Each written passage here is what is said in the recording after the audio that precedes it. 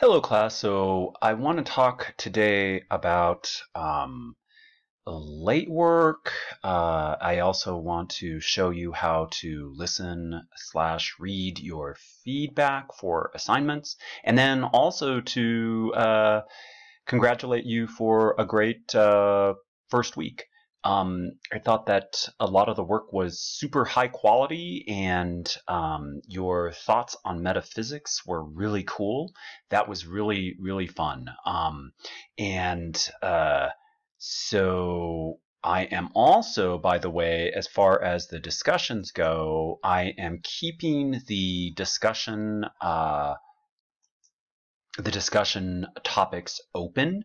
I was closing them, but what what that did is students weren't able to go back to the discussions. And so uh, I want people, I want students to go back to the discussions in order to uh, read not only their own uh, feedback, but also other students' feedback that I left for them. And then likewise to read other people's, other students' posts as well, um, so that you could get a sense of where everyone's at. Um, and so, so I'm not closing those. So with that said, know that um, I still uh, will have a deadline for it, but it'll just be a deadline in writing. In other words, the um, discussion will still be open past the deadline, but know that work that is submitted after that deadline, I won't grade it. And one of the reasons why is that uh, in college, we are training you to be professionals. And so part of being a professional is meeting deadlines. And so uh, when it's late, it also, another reason why it's a problem is that it's an organizational problem for me as well. In other words, everything's not in one place when things are late um, I have to uh, I have to uh, do uh, grading uh, pattern that I don't usually do when things are late. And so when you add all of the late works that students are submitting from all my different classes, it ends up being something where it's too hard to keep track of. Okay, so organizationally, it's a lot more difficult for me when students turn in late work. Okay, so uh, but I still still will offer you feedback for it, okay? But I won't grade it. You are not eligible for points after it is late, okay? So then, um, so like I said, this is, uh, I'm viewing it as a student here. So we're seeing that the uh, topic is open. So there it is. So you could still read it.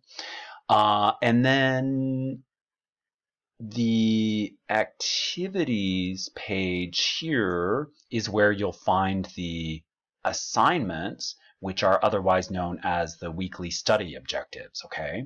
So I went through here so that that's so that to show you how you could start looking at your feedback, okay, and listening to your feedback, reading your feedback.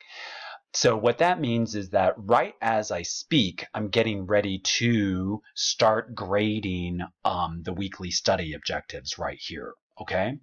Um, and I'm going to go in and uh, start giving you audio feedback. Okay. So what I did for weekly study objective two is I actually did a mock submission here. And I also offered feedback to myself. Okay, so here, let's just do that one more time. So activities, assignments, right here, evaluation status, you'll see the feedback. And here, I think this will read unread if I hadn't looked at it yet. Okay, so let's go ahead and click on that. And you see right here, right here, there's an audio file. Okay, so this audio file I want you to click on, click on that, and right there you can see it downloaded.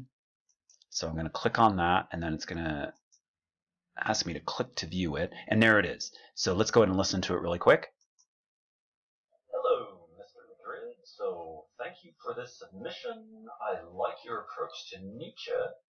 It looks a lot like the entry I wrote for the uh, topic want to go ahead and write your own. so that's funny because um, I have had students um, uh, submit my writing for their assignments, believe it or not.